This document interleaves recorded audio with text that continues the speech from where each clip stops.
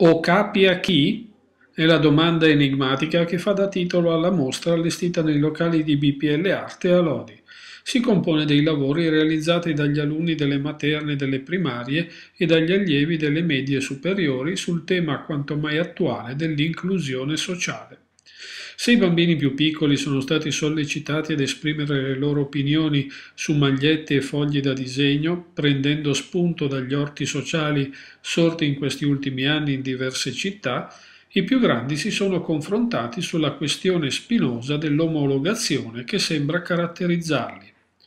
È qui che è entrato in gioco Okapi, l'animale bizzarro del tutto immaginario che è simile a tanti ma da tutti prende le distanze.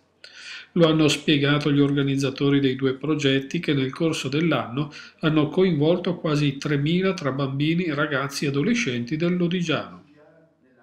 Si tratta degli educatori e degli animatori del movimento per la lotta contro la fame nel mondo e quelli della Caritas, da tempo impegnati sulle problematiche dell'inclusione sociale.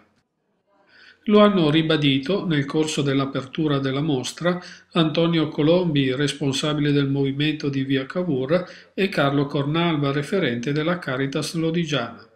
Dopo di loro sono intervenute le artefici dei due progetti didattico-educativi che hanno interessato per mesi le scuole del territorio.